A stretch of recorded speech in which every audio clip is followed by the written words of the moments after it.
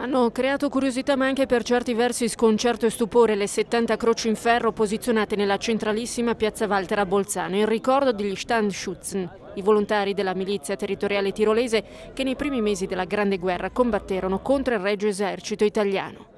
Un'iniziativa che tra la gente ha suscitato emozioni contrastanti. Chi si è fermato a guardare incuriosito, chi ha apprezzato e chi invece se n'è andato via disorientato e turbato. La particolare giornata ha preso il via alle 12 della Casa della Cultura di Bolzano dove si è svolta la cinquantesima assemblea plenaria degli Schutzen. Tra i presenti anche il presidente della provincia di Bolzano Arno Compaccer. Nel pomeriggio invece le diverse compagnie dei cappelli piumati provenienti da Tirolo, Alto Adige e Trentino si sono ritrovati nel centro storico dove è stata programmata una sfilata con raduno finale in piazza Walter per assistere alla messa con spari a salve di tre compagnie e alla benedizione delle 70 croci.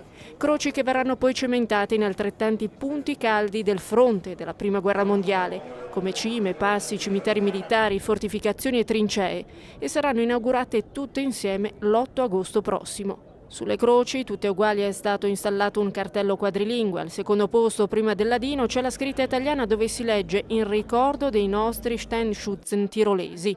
Un'iniziativa congiunta delle 400 compagnie degli Schutzen di Tirolo, Trentino e Alto Adige per ricordare, come ha detto il comandante altoatesino dei cappelli piumati al Martaler, i nostri.